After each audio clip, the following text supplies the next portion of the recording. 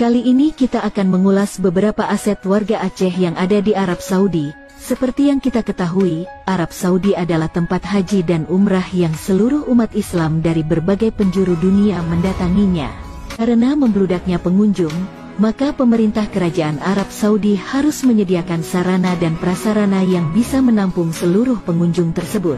Tapi ada hal unik di sini, di mana ada salah satu daerah, tepatnya salah satu provinsi di negara Indonesia, memiliki aset yang begitu besar di Arab Saudi ini, daerah tersebut adalah Aceh. Kita ulas secara mendetil aset warga Aceh yang ada di Arab Saudi ini. Set masyarakat Aceh di Arab Saudi. Hotel wakaf milik umat Islam Aceh di kota Mekah nilainya mencapai 25 triliun yang dibeli dari uang patungan warga Aceh untuk keperluan jamaah haji dan umroh khusus dari Aceh. Apakah kamu tahu siapa pemilik hotel-hotel mewah dan perkantoran di Mekah ini?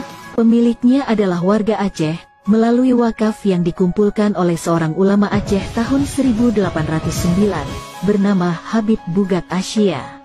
Pemprov Aceh sudah diberikan kapi sertifikat wakafnya yang menandakan bahwa warga Aceh adalah pemiliknya. Ini 5 aset orang Aceh, 1. Hotel Bintang 5 Elaf Masyair, berkapasitas 650 kamar di wilayah Ajiat Musafi, berjarak sekitar 250 meter dari Masjidil Haram. 2. Hotel Bintang 5 Ramada, berkapasitas 1.800 kamar, di wilayah Ajiat Musafi, sekitar 300 meter dari Masjidil Haram.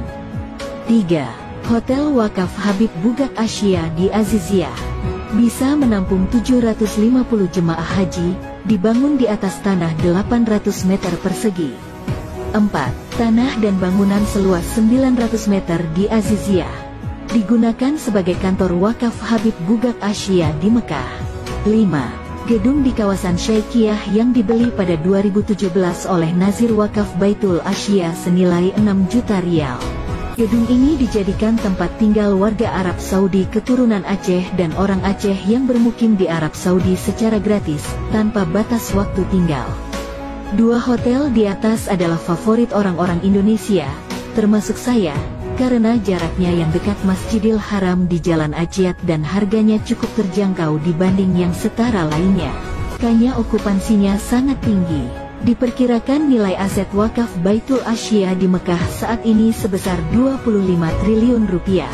Sesuai ikrar wakafnya, setiap warga Aceh yang berangkat haji dan pelajar Aceh yang belajar di Saudi akan mendapatkan uang dividen atau bagin hasil dari penghasilan hotel tersebut.